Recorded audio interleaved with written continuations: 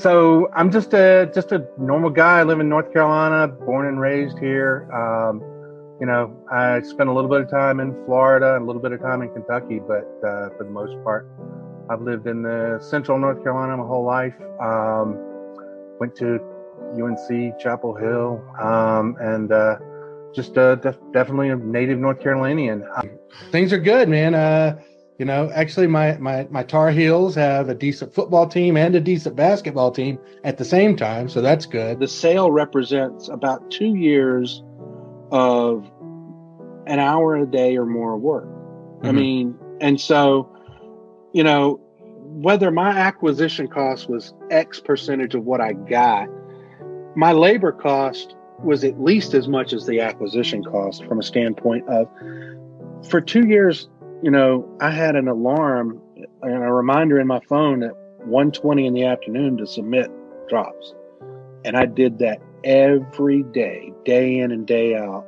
You have to be consistent. You have to do the things that other people aren't doing to get the results that other people aren't getting. And mm. literally every single day for for at least two years, mm-hmm. I was calling through these lists, putting in there, and in the end, that's you know it paid off. It's my pleasure. I do. I tend to share a lot on Twitter. Um, the sometimes it it opens you up to oh you could have got more for that or i mean i, I but I, I just feel like kind of documenting the journey and letting other people that are at a different stage see what's going on um, is beneficial i got so much out of um, you know DomainSherpa as i was cutting my teeth and i'm by no means a seasoned investor at this point but and i still get so much out of it um, but you know i think that there's there's always the opportunity to teach from where you are or to benefit other people with think with what you're going through from where you are?